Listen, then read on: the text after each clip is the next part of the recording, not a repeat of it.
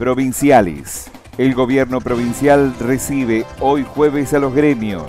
La reunión será en el Salón de los Gobernadores a partir de las 11. Asistirá un representante de cada gremio, ATE, UPCN, ACMER, AMET y SADOP.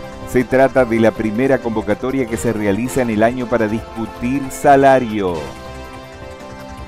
Julio Rodríguez Íñez, hubo una irregularidad administrativa en la caja de jubilaciones. El fiscal de Estado habló del escándalo del pago de haberes y afirmó que quienes retiraron los fondos deberán afrontar causas penales y las posibles consecuencias de los funcionarios, tanto del expresidente Daniel Elías como de los responsables del sistema nacional, mientras el Tribunal de Cuentas sigue analizando el expediente principal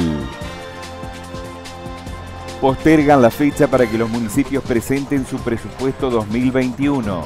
En reunión de labor parlamentaria, los jefes de los bloques de la Cámara de Diputados de la provincia acordaron postergar la fecha para que los municipios entreguen sus proyectos de presupuesto 2021, con el objeto de aguardar primero la presentación de la misma norma a nivel provincial.